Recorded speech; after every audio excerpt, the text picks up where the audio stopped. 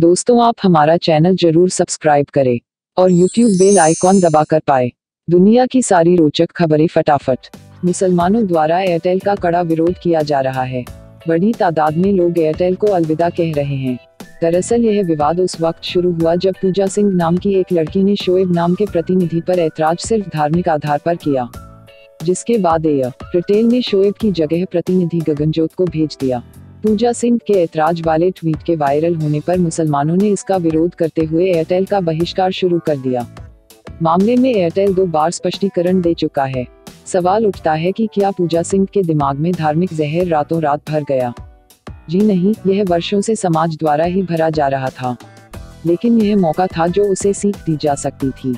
लेकिन लोगों का रिएक्शन कुछ ऐसा है कि यह धार्मिक भेदभाव की आग को और भड़काएगा। जितने लोग इस लड़की को गालियाँ देकर भड़ास निकाल रहे हैं, या लोग इस खाई को और बढ़ाने में लगे हुए हैं।